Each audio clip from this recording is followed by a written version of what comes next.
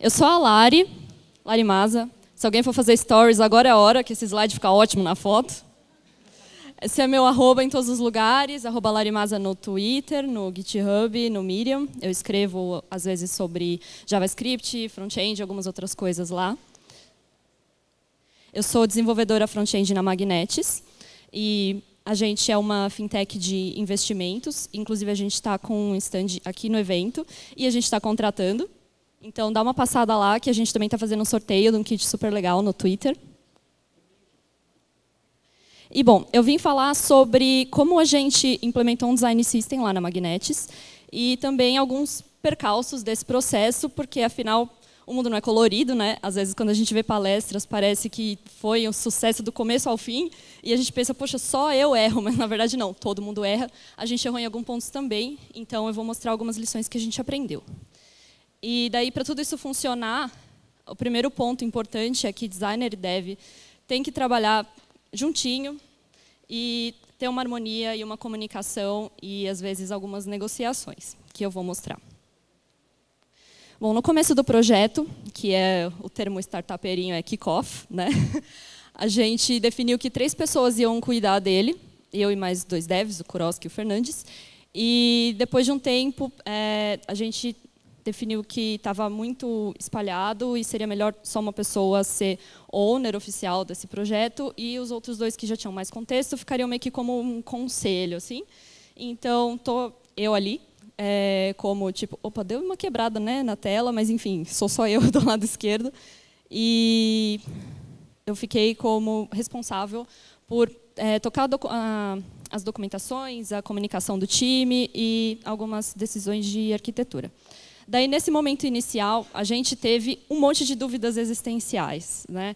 É, putz, que tecnologias que a gente vai usar? Porque a gente tem uma parte da stack que é React, outra parte que é Vue, a gente pode usar um framework, ou a gente pode deixar tudo vanilla, agnóstico, é, a gente pode fazer ter o JS comportamento junto com os componentes ou só CSS. A gente pode baixar as fontes ou deixar no CDN. Pode deixar os ícones inline ou em fonte. Pode fazer o CSS ser utility first ou se comportar como componente. Pode ter arquivos de variáveis. Quais vão ser os arquivos de variáveis? Fonte, cor. Por onde a gente vai começar a codar? E o que é um design system, afinal?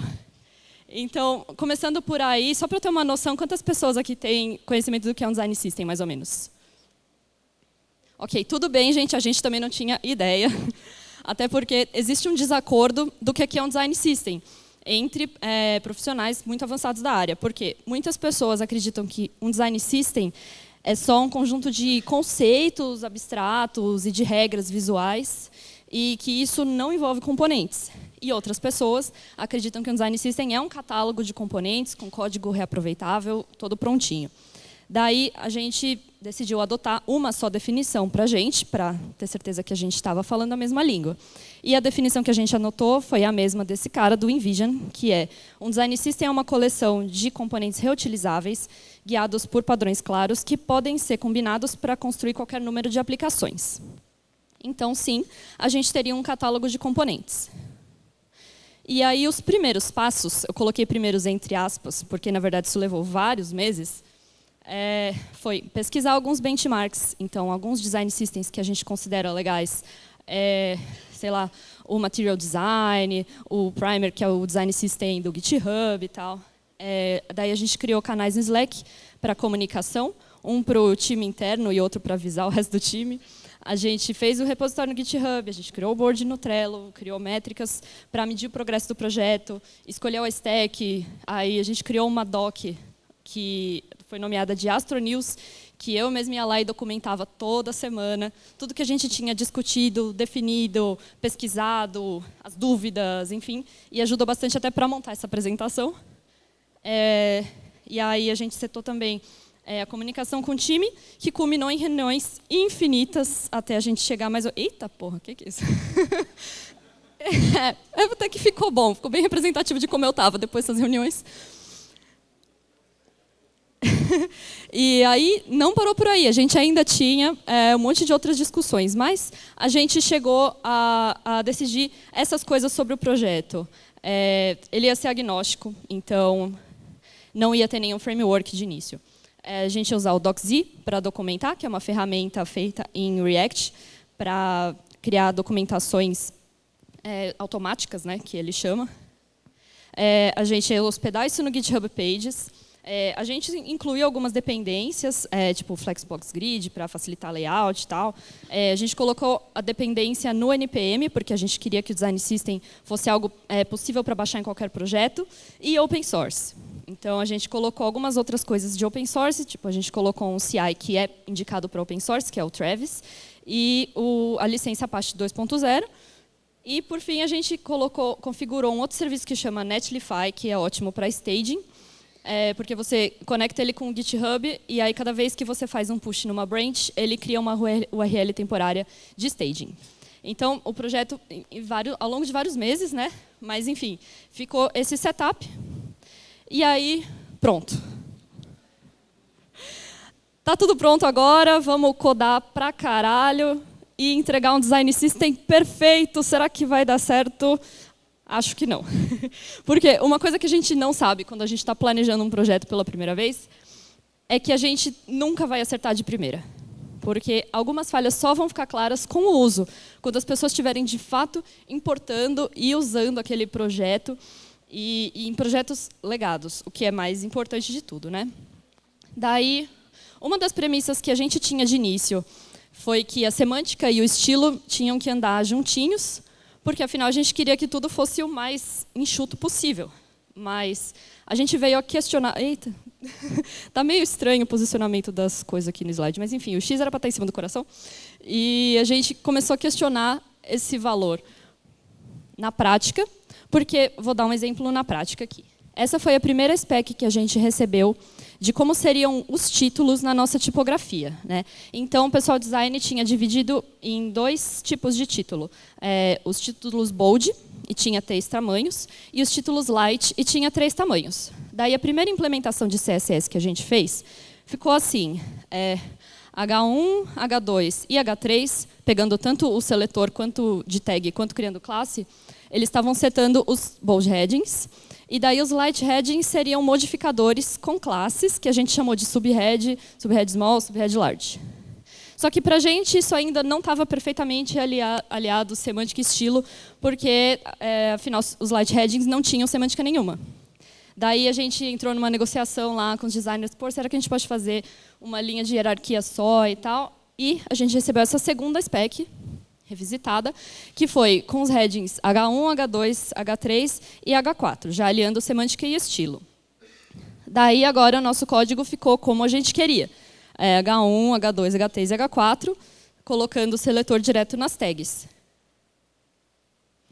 Daí a gente recebeu uma spec assim. É, e aí, o que, que acontece quando você vê uma spec dessa na prática? É, dá para ver ali que o título principal da página, minha carteira, ele é um H1, porque ele é o título mais importante, mas ele é menor do que vários outros textos que estão acontecendo nessa tela, inclusive aquele que está dentro do, da imagem ali, que diz futuro garantido, e a gente nem sabe se aquilo seria um heading, porque, enfim, é, é são só duas palavras que não diz muita coisa de fora para um motor de busca, ou enfim. Então, já quebrou completamente a nossa ideia de sempre aliar o tamanho, a hierarquia visual com a semântica.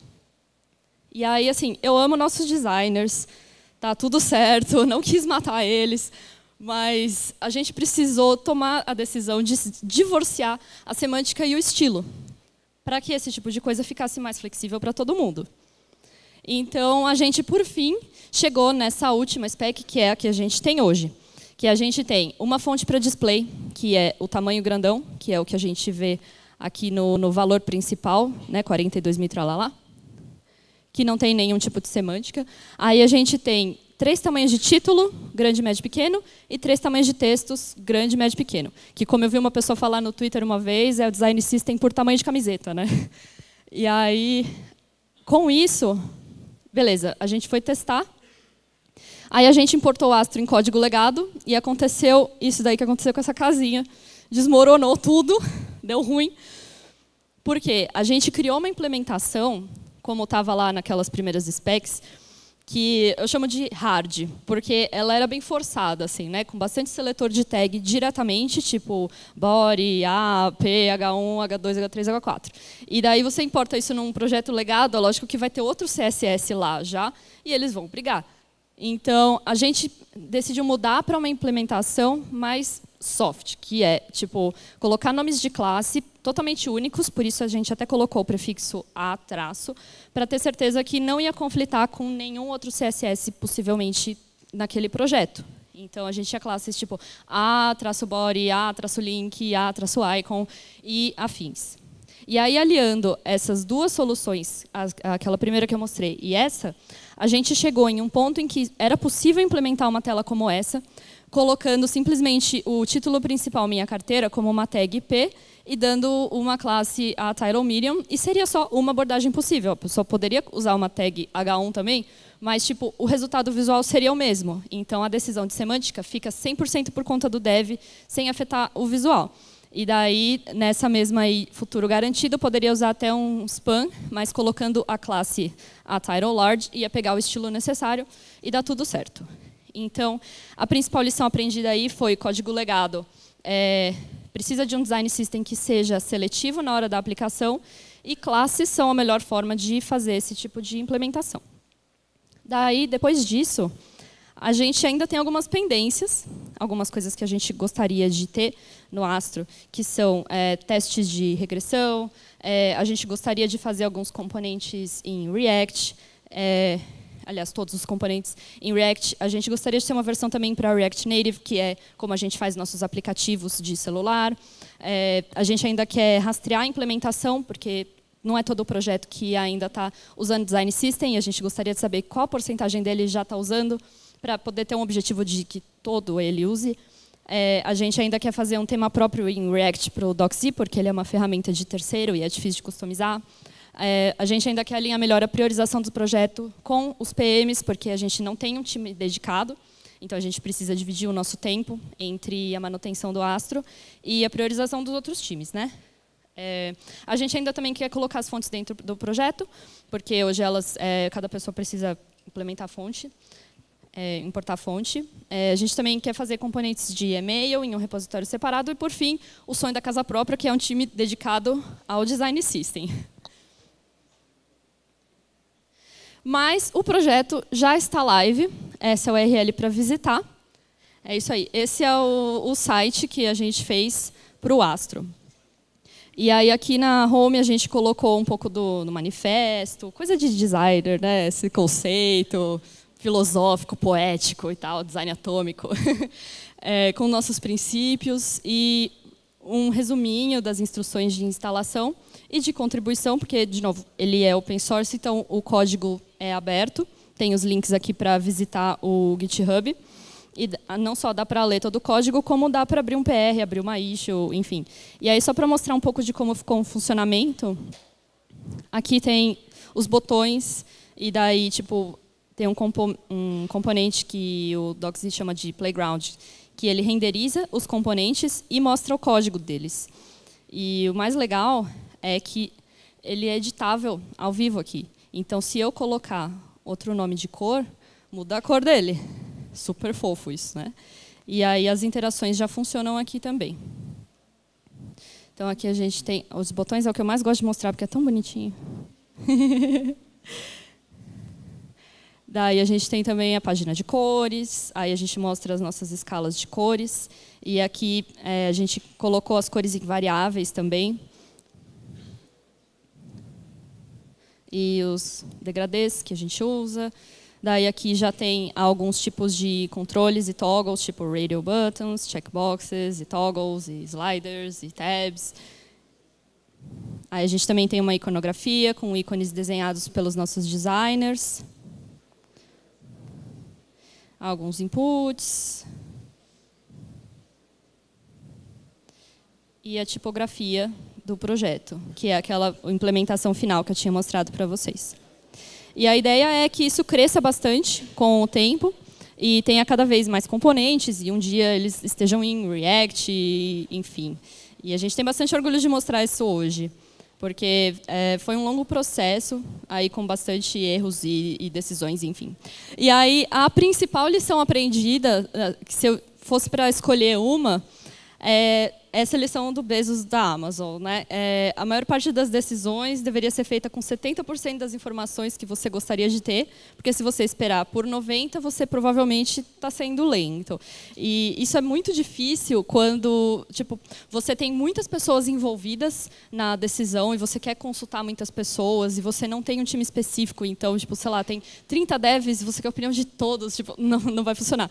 E às vezes, mesmo se você pedir a opinião das pessoas mais experientes, elas também não vão ter uma resposta certa, uma resposta perfeita, uma resposta canônica. Então, tipo, todo mundo vai dar seu input, mas no fim, quem está owner do projeto é que vai ter que tomar a responsabilidade de tomar a decisão e se comprometer com aquilo e voltar atrás se der errado. Mas para fazer acontecer um projeto é muito importante não se deixar levar pela paralisia da análise e seguir em frente fazendo que uma hora vai sair, como saiu essa doc aí que eu mostrei para vocês, tão bonitinha. E é isso, obrigada.